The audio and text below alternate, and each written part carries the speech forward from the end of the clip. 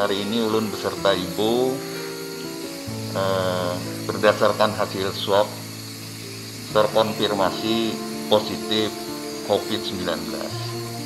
Untuk itu ulun minta doa untuk kesembuhan kami agar diberi kekuatan, kemudahan dalam berobat dan juga uh, bisa melewati ini dengan baik.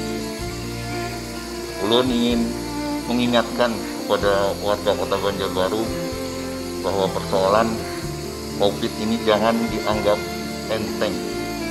Ini benar-benar nyata dan kita harus melawannya dengan disiplin menerapkan protokol kesehatan.